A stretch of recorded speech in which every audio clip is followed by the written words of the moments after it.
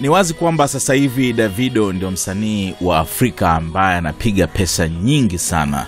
Jamaa amekuwa akijaza mastadiums katika nchi mbalimbali na ngoma zake zinafanya vizuri, ana endorsements kibao za makampuni makubwa na mambo kama hayo. Kwa hiyo kwa yote hayo inamkuta akiingiza pesa nyingi sana, na ndio maana ameamua kununua private jet mwe, yake mwenyewe, ndege binafsi ambayo atakuwa akitumia katika kazi zake. Ameonyesha katika akaunti yake ya Instagram kwa kuiweka ikiwa na logo kabisa ya lebo yake ya DMW.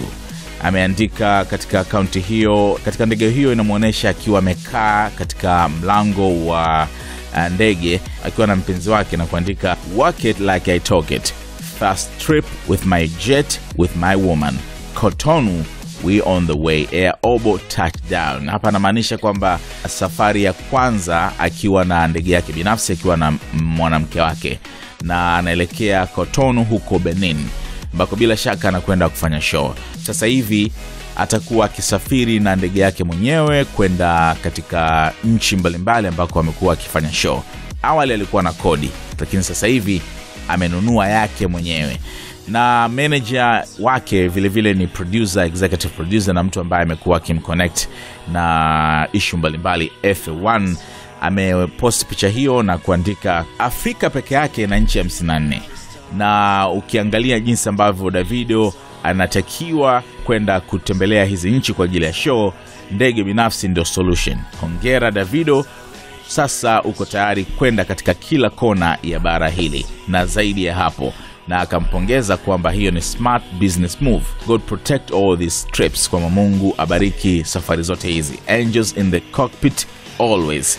Color is dope, that logo. Yani amependa rangi, lakini pia logo ya kampuni yake ama lebo yake Davido. Kwa hiyo ndo hivyo kwamba sasa hivi Davido atakuwa akisafiri kwenda kufanya show mbalimbali katika nchi tofauti tofauti barani Afrika na nje akiwa na ndege yake binafsi.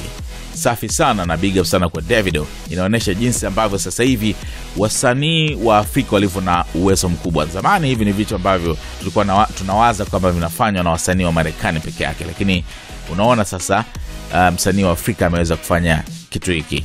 Sio kazi ndogo kumiliki ndege, kwa sababu kwanza ni gharama yenyewe kuinunua, lakini vilevile vile operation yake, mafuta, kupaki, kulipa marubani, wafanyakazi na vitu kama hivyo. Kwa hiyo sio kazi ndogo.